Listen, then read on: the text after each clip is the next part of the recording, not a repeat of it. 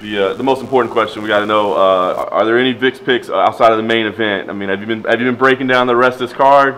You know, I haven't uh, I haven't went in super deep on the card. Um, I haven't decided honestly. On I'll, I'll release them Saturday. Nice. Check Have, my Twitter.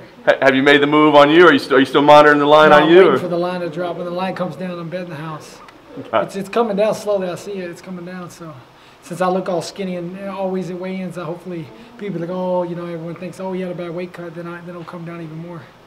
That's the plan. you, you do always look rough on weight Yeah, cut. How, I mean, how are you feeling right now? I mean, I, I, it sucks. It's never good, but I mean, I'm, it's not any worse or better than usual. It's basically the same as always.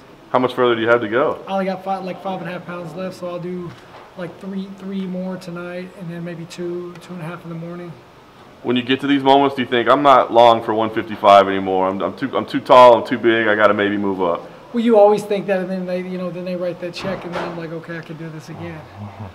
Honestly, a lot, a lot of my, my, my stuff comes from my diet. Honestly, I have a bad diet. You know, I'm not even gonna lie. You know, if I'm not quite as big as people think I am, I'm very tall. but My bone structure is very small. I just, um, uh, I just, I eat a lot of sugar, man. I'm, I'm a sugar addict, like literally, like it's a, it's a problem. So if, if I if I cut down on that, I'd probably walk around a good 10, 15 pounds lighter than what I naturally do.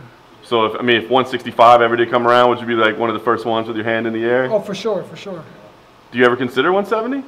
Oh yeah, I, I mean my, my goal is to become a world champion. You know, defend it a couple times and then move up. Nice. But right now, I'd have to start all over if I did that. You know, if I move up right now, I got to start back at ground zero.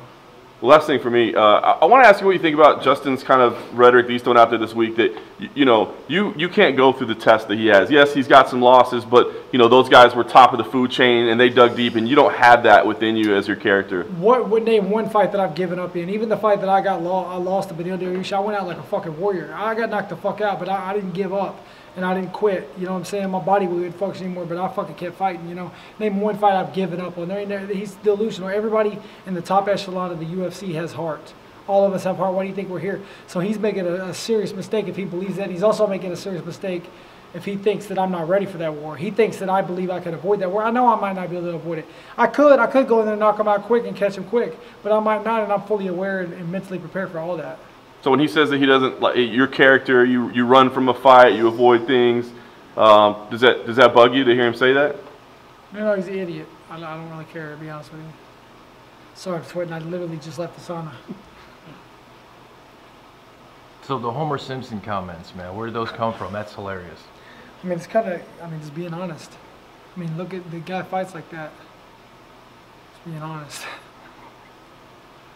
Does does that animosity or like uh, the fact that he reacted to those comments um, might play into the fight, or your game plan is the same regardless? I think he's going to fight the way he fights regardless. It doesn't really matter, you know?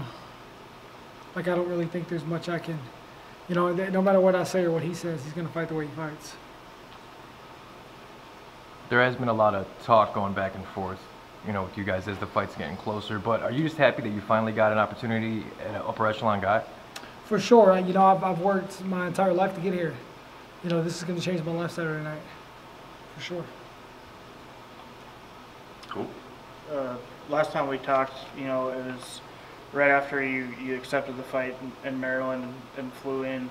Um, what, how have things kind of changed for you over that, that course in the last, you know, two months, two and a half months? Nothing's really changed. Um, I mean, I went home for a little bit, you know, when between fights, between camps, and then came back and started training.